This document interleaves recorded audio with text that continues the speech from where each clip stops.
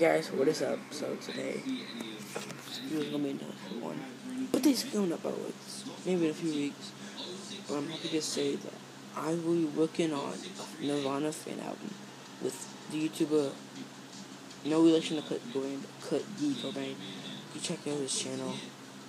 Not in links to it in Discord typing, it's not hard typing. But uh I'm I'm I would say I'll think I'm either gonna remaster his uh, Flash Candles album. It's it's fan Nirvana. It's not really, but it's just fan. But I think I'm gonna help him. Yeah, I'm gonna help him on the seventh album. So just let you guys know. And also, I might not be able to get them done in like maybe a month from now. Because um, the reason why is because um, I put this in a few months and not a few months, sorry, a few weeks. So might not be able to work on it a, maybe a couple weeks. Maybe after my birthday, or might be lucky even before my birthday. But Kurt D. Cobain said he would check up on my channel, so I just upload this. You guys watching right now.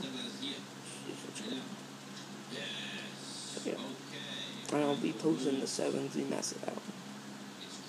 So, seriously. And Kurt D. Cobain thinks will be helpful. Work with me.